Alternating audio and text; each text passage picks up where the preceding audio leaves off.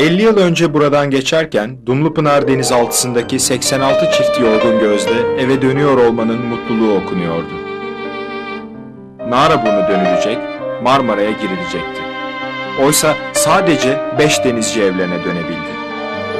Üç tarafı denizlerle çevrili bir ülkenin göz bebeği olan donanması en modern denizaltı gemilerinden birini, Dumlupınar'ı burada kaybetti.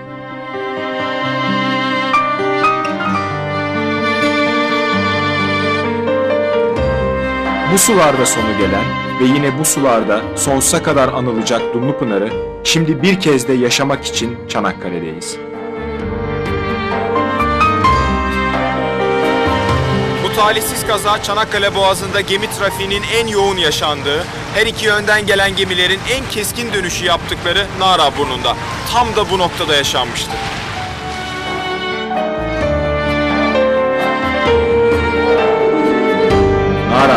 Gözyaşlarıyla karışık akan sularında 50 yıl sonra Dumlupınar'ın izini süreceğiz.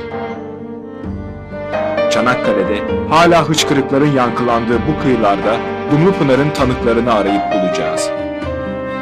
50 yıllık suskunluğun ardından Dumlupınar'a geri dönmek hepimiz için zor bir karardı. Ancak inandığımız bir şey vardı. Dumlupınar'daki denizcilerin yalnızlıklarına son vermek boynumuzun borcuydu. Ünlü sualtı araştırmacıları ve derin su dalgıçlarıyla Dumlupınar'ı yattığı yerde ziyaret etmeye işte böyle karar verdik. Yaklaşık bir yılda sürdürdüğümüz yoğun çalışmamız artık sonuna geldi. Tüm görüntüleme sistemlerimiz, dalış malzememiz dalgıç gemimize indiriliyor ve yükleme tamamlandıktan sonra 2 millik bir yolculuğa çıkıp Dumlupınar'la buluşacağız. Denize karşı insan gücünün yanında pek çok ekipmanın da kullanımını gerektiren zorlu bir mücadeleye giriyoruz. Akıntılı ve derin suların koynunda yatan Dumlupınar'a ulaşmak için özel olarak imal edilmiş dalgıç asansörünün yanında dalgıcın vurgun yememesi için basınç odasının da gemiye alınması gerekli. Mürettebat araştırma gemisi Detek Salvor'u bu zorlu sefere hazırlarken Kaptan Köşkü'nde de navigasyon haritaları son bir kez daha inceleniyor. Nerede? Şuralarda. Peki niye çıkıyor? Bu daha eski bir haritada mı gördünüz? Nara'nın yoğun gemi trafiğinde süratli ve manevra kabiliyeti yüksek bir tekneyle ilk adımın hemen atılmasına karar veriliyor. Selçuk Kolay, ön araştırma için batık arama cihazlarıyla donanmış Botnia adlı teknesiyle denize açılıyor. Ve Dumlupınar'a dönüş işte böyle başlıyor. 1993 yılında Midilli gemisi, 94'te Atılay ve 98'de Avustralya AE2 denizaltılarını bulan Selçuk Kolay tam bir batık avcısı. Amacımız Dumlupınar'ın battığı mevkide dip taramasını gerçekleştirmek ve enkazın konumunu belirlemek. Ya Ne görmek istediğini de bilerek denizaltıya ulaşmak lazım, enkaza ulaşmak lazım. e, tabii yani e, tesadüflere bırakılarak alınan görüntüler e, bilimsel açıdan fazla bir şey getirmez. Derinlerdeki Dumlupınar'ın en iyi şekilde görüntülenebilmesi için dalgıç gemisinin Dumlupınar'ın tam üstüne gelmesi gerekli. Aşağıya öncelikle bir uzaktan kumandalı robot kamera, arkasından da derin su dalgıcı indirilecek. İşte bu çalışma başlamadan önce Selçuk Kolay'ın teknesiyle Dumlupınar'ın yerinin tespiti çalışmasını yapacağız şimdi. Ünlü sualtı araştırmacısı, Nara'nın derinliklerinde Dumlupınar'ı bulmak için yan taramalı sonar cihazına güveniyor. Deniz dibinin üzerinden uçan metal balık, gönderdiği ses dalgalarıyla dip haritasını çıkartıyor ve batıkların monitöre net bir şekilde yansımasını sağlıyor. 90 metre aşağıdan gelen sonuçlar buruk bir heyecanla karşılanıyor. 93 metre uzunluğundaki 1500 tonluk Dumlupınar çelik bir tabut gibi deniz dibinde yatıyor. Ancak araştırmamızın bu ilk adımında bile gizem ve sırlar karşımıza çıkıyor. 50 yıldır bu noktada yatan denizaltının baş kısmındaki anormal yükseklik hemen dikkatimizi çekiyor. Bunun Nabolant'la çarpışma anında veya batarken hızla dibe çarpması sonucu oluşabileceğini düşünüyoruz. Detek 1, Detek 1, Botnia burası. Şu anda Dumlu'yu tam olarak bulduk. Mevkiini alıyoruz. Detaylı e, dip taramasını yapıyoruz. Elinize sağlık, sağ olun. Görüşmek üzere. Anadolu tarafından ziyade Rumeli tarafına yakın. Evet evet Rumeli tabii. Farklı açı ve yönlerden iki kez de sağlaması alınan görüntüleri şimdi harita üzerinde değerlendirip bir sonraki adım için plan yapmamız gerekli. Detek 1 burası Botnia. Dumlupınar'ı ikinci defa bulduk. Yerini markaladık. Kesin olarak eminiz. Şimdi son bir üçüncü defa çekimini yapıyoruz. Yan taramalı sonarla. Evet Selçuk Bey gösterdi şimdi. Bir kez daha çıktı. Elinize sağlık, elinize sağlık hocam. Sağ olun.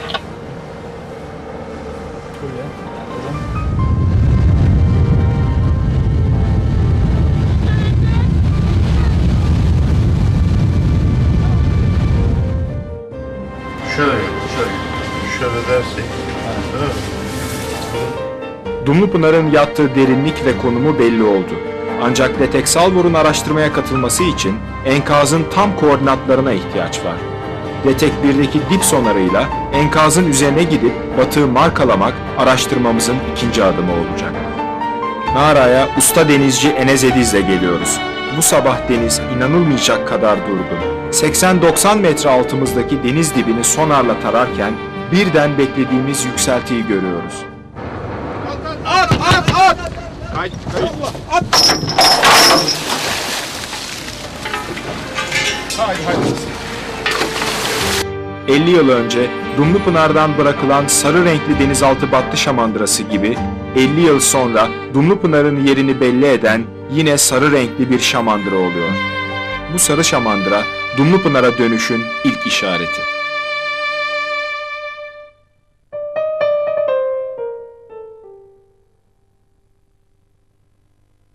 Bu esnada kıyıda da anlamlı bir buluşma yaşanıyor. İstanbul'dan gelen iki gazi, Hüseyin İnkaya ve Hüseyin Akış, şehit yakınlarıyla Dumlupınar'da kaybettikleri arkadaşlarını anıyorlar. Tanıdık yüzlerin fotoğrafları okşanıyor, mezar taşlarına dokunuluyor. Dualar ve kırmızı karanfillerle anılıyor 50 yıl önce yitirilen silah arkadaşları, babalar, ağabeyler.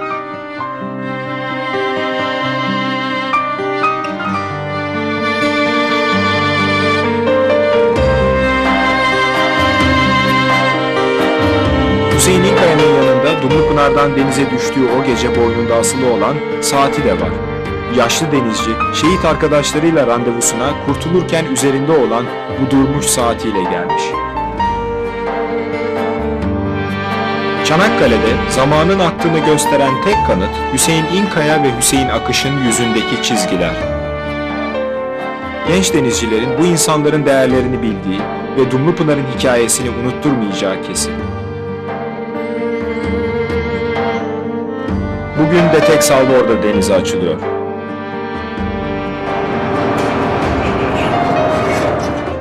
Dumlupınar'ın seyir astsubayları Hüseyin İnkaya ve Hüseyin Akış, onları denizden kurtaran Selim Yoludüz, Şehit Sait Yıldırım'ın kızı Berke İner, Şehit Selami Özben'in kardeşleri Haşim Özben ve Günaydın Tezbulut ve dönemin kurtarma dalgıcı Yılmaz Süsen, Kaptan Köşkü'nde yerlerini alıyorlar. Çocukluğumdan beri hissettiğim ama hiç yaşamadığım Dumlupınar'ı işte şimdi bu tanıklarla gerçekten yaşıyorum. Bu noktada tam 50 yıl sonra babacığımın arkadaşları hatta kamerada aynı yerde yan yana at- yattıkları e, Hüseyin İnkaya mesela bunlardan biri son derece muhterem bir beyefendi. Çok heyecan verici. O anılarıyla geldiler. O günü yaşıyorlar. Biz de onlarla birlikte yaşıyoruz. Bazen de aklıma geliyor. Keşke ben de şehit olsaydım da Akış deselerdi. E gelip burada arkadaşlar var. Bize şeyi verdiğiniz için çok çok duygulandım. Hiç kırmazdı beni. Gördüm çarşıdan gelirken. Aa abi bak çupa dedim hemen aldı. 50 yıldır saklıyorum. O zaman genç kızım modaydı takıyordum. Çok heyecanlıyım. Anlatamam yani duygularımı. Ne diyeceğimi bilemiyorum. Çıkan 50 kişi olsa 50'sini alırdık. Ama 5 kişiymiş 5'ini aldık. Bekliyoruz paşam bir şey almayın dedi. Bekliyoruz siz sağ olun. İşte kadar sağ olsun.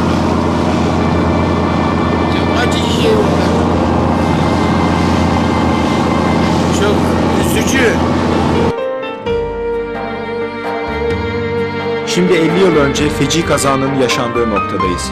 81 denizciyle Dumlupınar'ın derin suların esiri olduğu nokta. Burada dip taramasına ait görüntüler pek çok hatıranın da hafızalarda yeniden canlanmasına sebep oluyor. Oradan geçerken o da nöbeti teslim ediyordu. Kim? Sait de nöbeti teslim ediyordu. O da teslim Kim diyorum. o da- Adını anmanız için o kim yatma- diyorum. O yatmaya gidiyordu. Evet. O yatmaya Konuştunuz mu efendim? E, şöyle bir bakıştık tabii. Çünkü, Son bakış. E, o uykusu gelmiş. yatacak. Son bakış aslında. İkiniz de maalesef. bilmiyorsunuz. Son bakış. maalesef son bakış. Ve e, e, Günümüzün gelişmiş denizcilik teknolojisi düşünüldüğünde Dumlupınar'a dönüş kolay bir projeymiş gibi gözükse de bugün Nara'daki koşullar 50 yıl öncesi kadar hatta daha da zorlu. Derinlik ve akıntıya yoğun bir de gemi trafiği eklenmiş.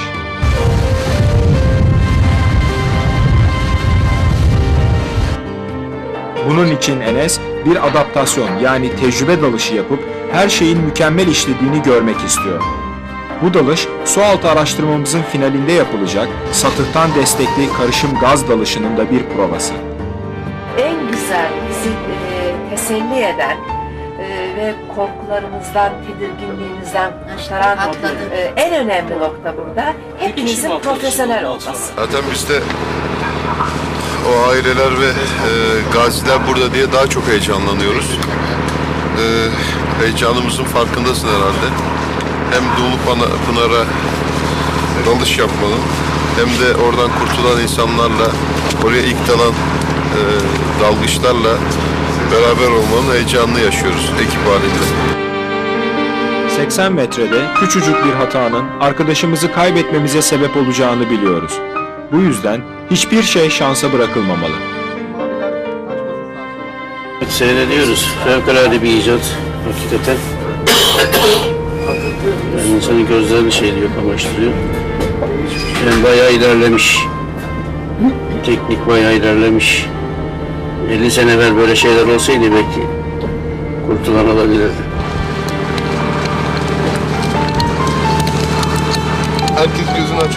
Onlara şimdi bu çocuk oyuncağı gibi gelir. Evet.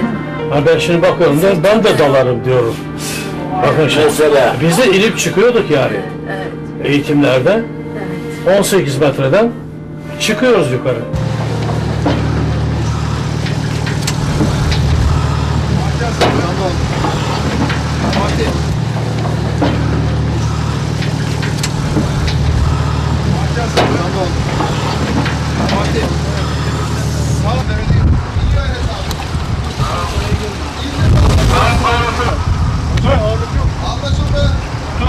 Şu, şu anda nasıl hissediyorsun kendini? E, 65 metreye doğru indiriyoruz seni. Şu anda ölçümü aldım. 65 metre. Nasıl hissediyorsun?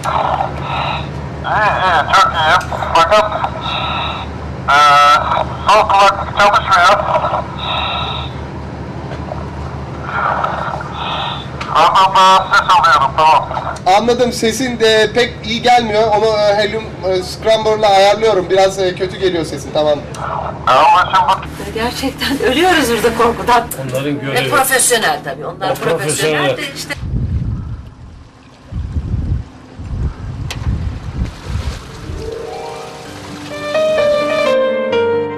Bu heyecanı 45 yıl önce yaşamış emekli donanma dalgıcı Yılmaz Süsen her an durun çocuklar ben de dalayım diyecekmiş gibi geliyor bana. Ne de olsa Dumlupınar'a ilk dalışı onun da içerisinde olduğu Yarbay Vedat Dora'nın ekibi gerçekleştirmişti.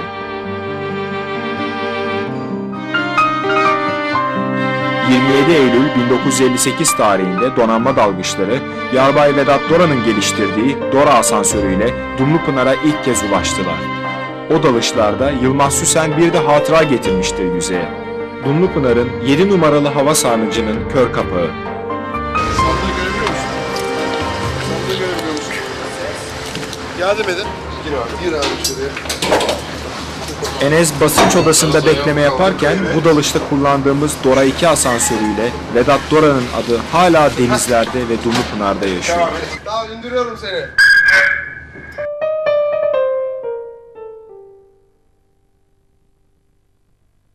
Enes adaptasyon dalışında Yılmaz Süsen'den tam not alıyor. Dumlupınar'a gerçekten ulaşabilecek ilk sivil dalış ekibi olacağımıza herkesin inancı tam.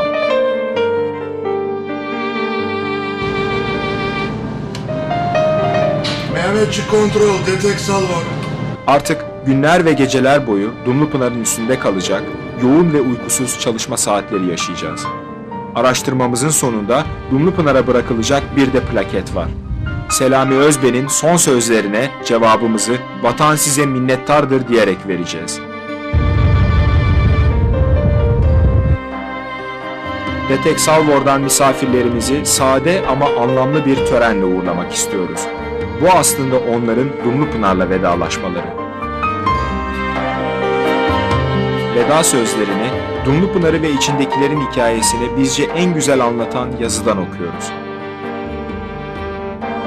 50 yıl önce ünlü edebiyatçı Zeyat Selimoğlu'nun Beyoğlu'nda Foto Sabah'ın vitrininde gördüğü bir resme bakarak yazdığı bir yazıdır bu.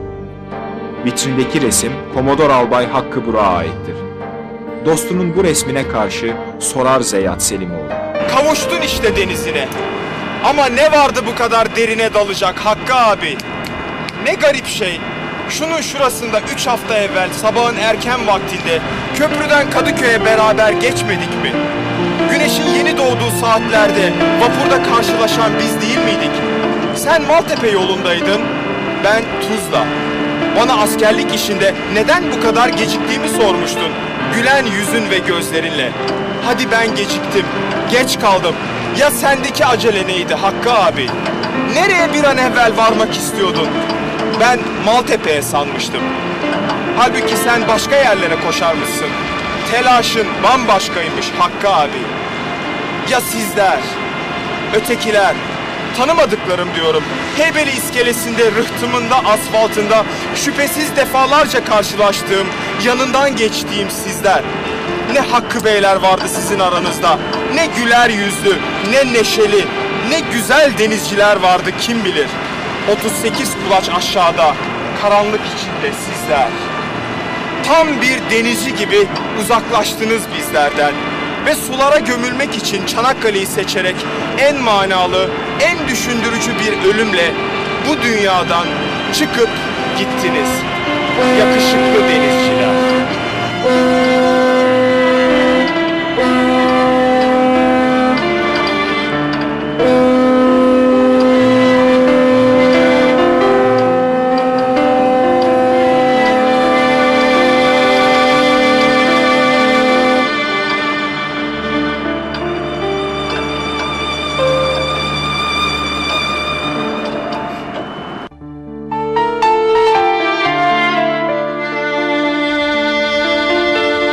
Çanakkale'de 10. gün.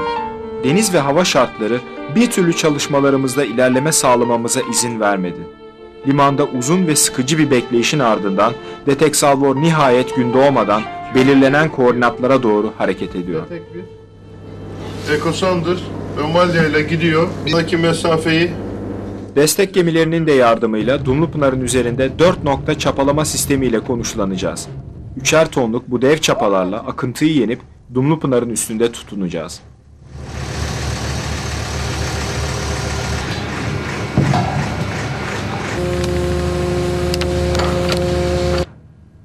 Uzaktan kumandalı robot kamera, üzerinde hassas bir kamerayla kendi projektörleri olan kapalı bir sistem.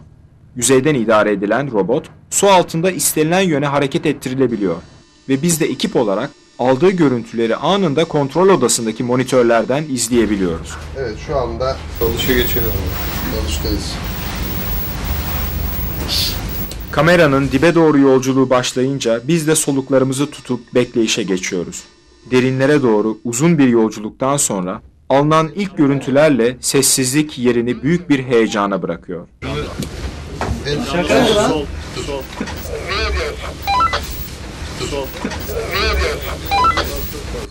Ah, işte deniz al. Battı şamandırasının yuvası kış taraftayız.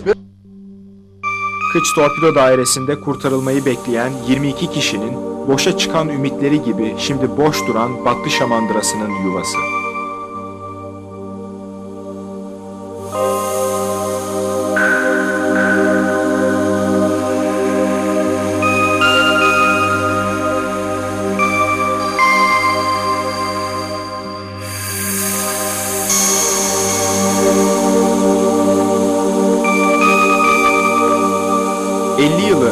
Yüzeyle bağlantıyı sağlayan ve koptuğu anda tüm ümitleri de beraberinde denizin dibine götüren Battı Şamandırası'nın telefon kablosuyla Dumlupınar'a ulaşıyoruz.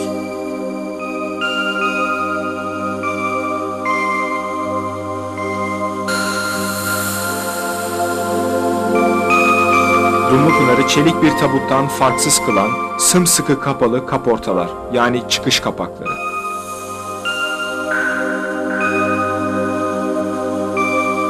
Bir koç boynuzunda öylece volta edilmiş duran bir halat. Acaba Dumlupınar'da hangi denizcinin hayatıyla beraber düğümlenmişti? Kurtarma kaportasının yay ve elciğini elimizi uzatsak tutacakmışız gibi yakınımızda görüyoruz.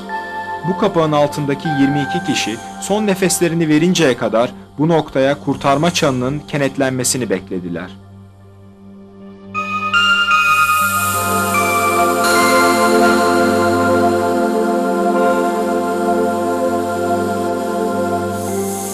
En kıçta uskunduralar hemen görülüyor.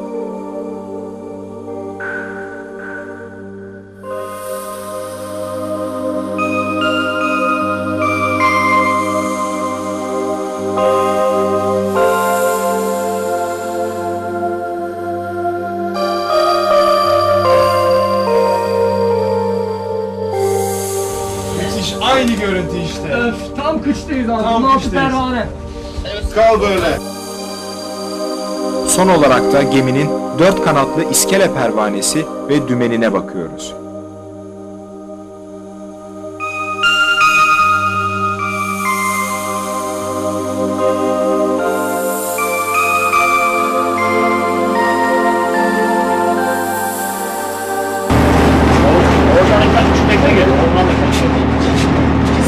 Yemekte Her gördüğün yerde yapıyormuşsun. yayla çorba, pırasa, çıksın abi. pirinç pilavı, tatlı. Bırakayım. Dumlupınar'ı baş tarafına şimdi yönlendik. Şimdi dereceyi da ona göre gemiyi de ilerlettik. Ee, şu anda ilk çekeceğimiz kuleden sonra göreceğimiz kaporta. Burada Yılmaz Hüseyin'in anlattığı bir hidrofon cihazı var. Evet. Onu çekeceğiz. Onu yakalarsak o hidrofon, şurada gözüken Evet. hidrofon cihazını çekeceğiz. Ondan devam edeceğiz. E, çıkış kaportası. Yani devam bu edeceğiz. 200 E, denizaltı battı şamandırası yuvasında. Evet, tamam. Devam edeceğiz. Irgat, loça ve loça. Oradan hemen yaraya ineceğiz. Her biri şimdi başka bir canlıya ev sahipliği yapan, denizaltının iskele ve sancağında görünen hava ve su imla delikleri boyunca ilerliyoruz. Kuleye çıkmak için kullanılan merdiven, şimdi ruhların gezindiği bir başka bölüm. Köprü üstünde 5 kişinin sağ kurtulduğu mevki de şimdi sulara teslim olmuş durumda.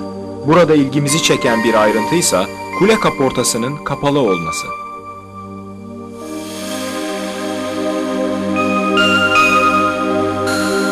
Buradan sağ kurtulmayı başaran Hüseyin Akış'tan sonra belki de kulenin bir metre altında görev yapan Serdümen Er Hüseyin Sayın veya radarın başında duran Assubay Hamdi Reis son anlarını kurtulmak için değil de bu kapağı kapatmak için kullandılar.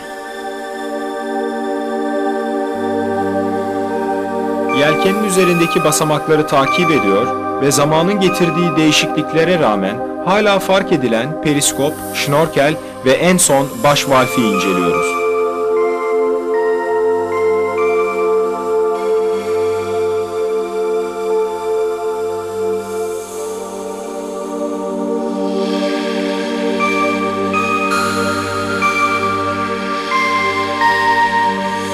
Denizaltının baş ve kıç güvertesindeki tik kaplamaların üstünde zamana karşı direnen ırgatlar,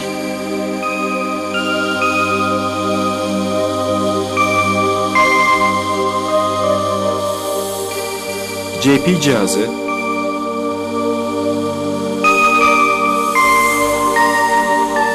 anten direkleri ve vardevelalar denize boyun eğen hayatların üstünde hala dimdik ayaktalar.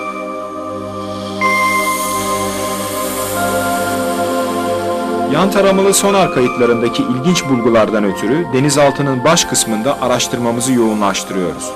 Dumlupınar'ın baş loçası üzerinde tıpkı bir mezar taşı gibi oluşmuş büyük bir kitle karşımıza çıkıyor. Denizaltı batarken pruvası hızla dibe vurunca balçıkla kaplanan burnunun zamanla bu görünümü aldığını görüyoruz.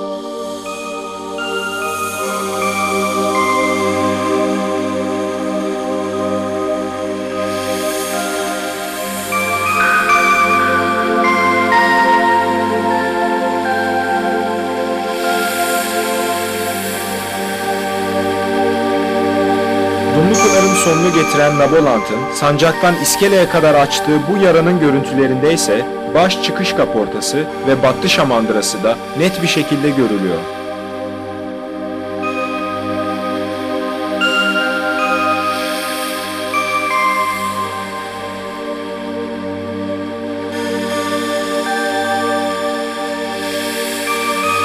Yaranın bu görüntüleri parçalanarak açılmış bir konserve kutusunu akıllara getiriyor. Aldığı şiddetli darbeyle denizaltının başının neredeyse kopmak üzere olduğunu tespit ediyoruz.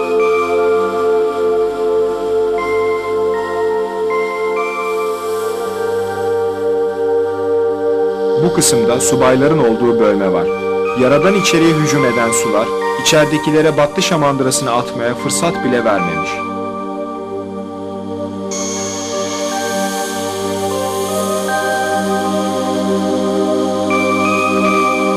Görüntüler karşısında Hüseyin İnkaya'nın Hasan Yumuk'la bu sularda kurtulma mücadelesi verirken karşılaşması aklımıza geliyor. Dalgalar arasında Üsteğmen Yumuk, Hüseyin İnkaya'ya boynundaki dürbünü gösterir ve ''Şef, bu dürbün demirbaş, sen şahitsin, ağırlık veriyor, atıyorum.'' der. Bu dürbünü bulamadık ama Dumlupınar'ın sırlarını çözdük.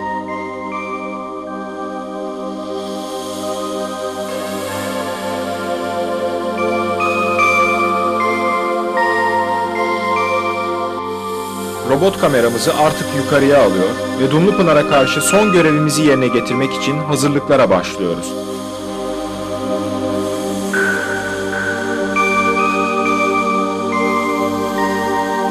Türk denizcilik tarihinde bir ilk Dumlupınar'da gerçekleştirmek istediğimiz. Satıhtan destekli karışım gaz dalışıyla Dumlupınar'a ulaşacağız.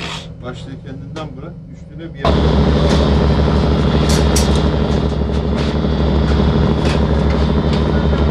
Şu anda çıkartma. İçine toz ya da başka bir şey. Dalış hazırlıkları bize 50 yıl önce bu noktada yerine getirilen bir son görevi anımsatıyor.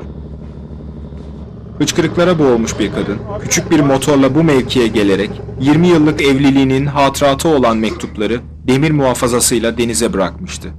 Denizaltının içindeki kocasına karşı kendince bir son görevdi bu. Bizim de son görevimiz üzerinde vatan size minnettardır yazılı plaketi Dumlupınar'a bırakmak.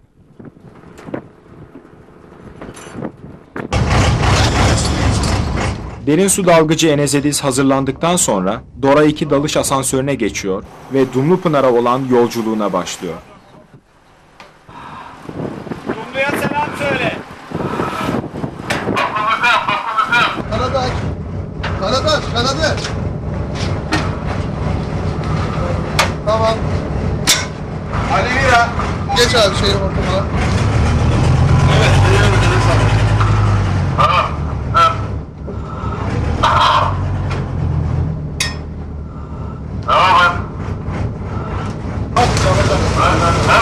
Dönecek, dönecek. Oradan ortaya boş koyun. Hop. Kal böyle kal. Kal. Kal. Ali kal. Oğuz şu telsizi ver, kal böyle. Diğer telsiz nerede? Ver şunu abi ver şunu.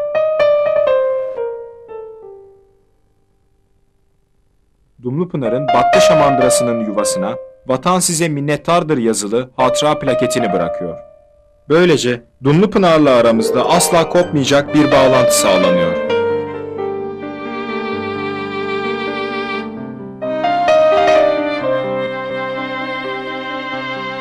Denizaltının tarihinde Vefa, Atılay ve Dumlupınar facialarında toplam 247 denizaltımız şehit olmuştur. Bugün 50 yılını dolduran Dumlupınar denizaltı gemisinde şehit olan arkadaşlarımızı anmak ve denizaltı şehitlerimiz için anıt yapmak üzere Gelibolu Belediyesi tarafından denizaltını sevenler Sosyal Yardımlaşma Derneği'ne tahsis edilen bu alanda şehit denizaltıcılar anıtının temel atma törenine katılmak üzere toplanmış bulunmaktayız. Denizaltını sevenler Sosyal Yardımlaşma Derneği tarafından Gelibolu'da temeli atılan denizaltı şehitleri anıtı tamamlandığında da üzerine konulacak aynı plaket Dumlupınar'a dönüşü sonsuza dek anlatacak.